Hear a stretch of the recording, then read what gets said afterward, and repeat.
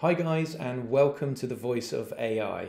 My name is Chris Plant, and some super cool big, big news from yesterday. Meta have shared new progress on their AI speech work. The massively multilingual speech project has now scaled speech to text and text to speech to support over 1,100 languages, which is a 10 times increase from previous work. MMS is a game changer for the world of speech recognition and speech generation technology. This project, led by Meta, aims to break down language barriers by enabling machines to recognize and produce speech in over 1,000 languages, covering 10 times more languages than any existing speech recognition or speech generation model. With this multi-model system, people from all over the world can access information and communicate effectively in their preferred language preserving linguistic diversity across the globe.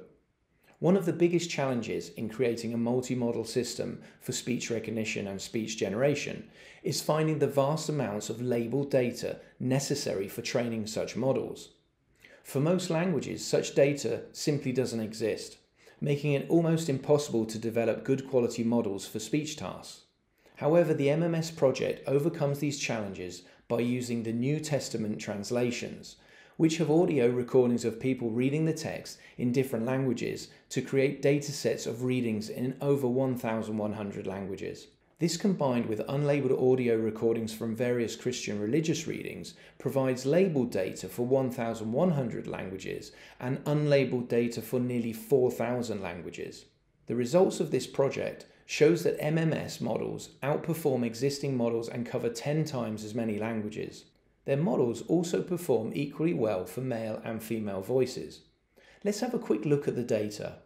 Okay, so the first graph shows character error rates. This is an analysis of potential gender bias. Automatic speech recognition models trained on MMS data have a similar error rate for male and female speakers based on the FLEURS benchmark.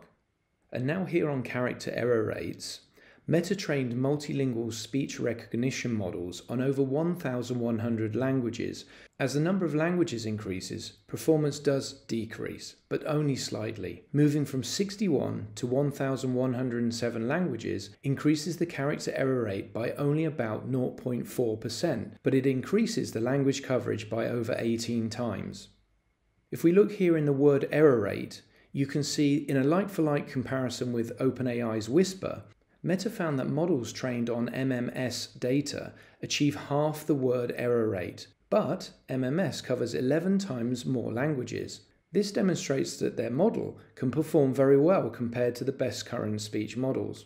And finally, the error rates in percentage. Meta trained a language identification model for over 4,000 languages using their datasets, as well as existing datasets, such as FLEURS and Common Voice and evaluated it on the FLEURS language identification task, it turns out that supporting 40 times the number of languages still results in a very good performance.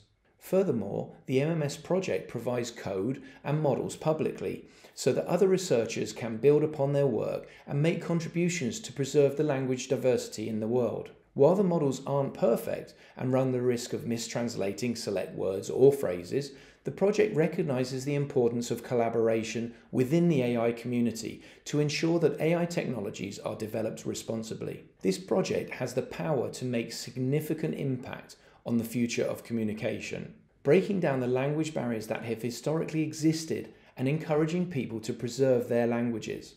The vision is to create a world where technology can understand and communicate in any language, effectively preserving linguistic diversity. While this is really the beginning, the Massively Multilingual Speech MMS project represents a significant step towards achieving this goal. With the advancement of technology, the future is looking bright for communication across languages and cultures. Thanks for watching the video today. Please don't forget to like and subscribe and join me on the journey to unlock the potential of AI. If you have any questions or any feedback, please leave them in the comment section below. I'll be happy to read them. So I'll see you next time and all the very best. I'm Chris from the Voice of AI. Cheers and bye bye now.